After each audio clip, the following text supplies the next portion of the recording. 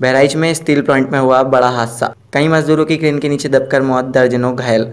हादसे को छिपाने में जुटा मिल प्रबंधन। मिल प्रबंधन ने बंद किया स्टील प्लांट का मेन गेट। पुलिस टीम को भी अंदर जाने से रोका। सरिया बनाते समय हुआ बड़ा हादसा। हादसे को छिपाने में जुटा मिल प्रबंधन।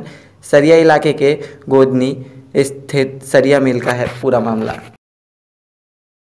ये अभी जानकारी पता चल रहा है कि सवेरे बिल्कुल कुछ मजदूर यहाँ पे काम कर रहे थे, जिसमें ये क्रेन टूटा है और एक व्यक्ति की इसमें मृत्यु हुई है और चार लोग घायल हैं।